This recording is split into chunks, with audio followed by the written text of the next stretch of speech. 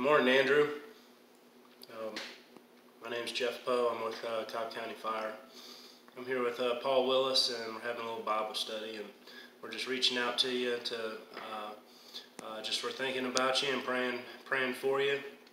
Uh, I know things are pretty heavy right now, and um, just keep your faith and um, just know that uh, you're loved and uh, have a great day. Good morning, Andrew. My name's Steve Bradley. Cobb Fire, same thing. I want to encourage you to be strong. Uh, there's nothing you can't do through through the Lord's help, and uh, you got a lot of people praying for you and uh, thinking about you during this period. You just take care and be strong.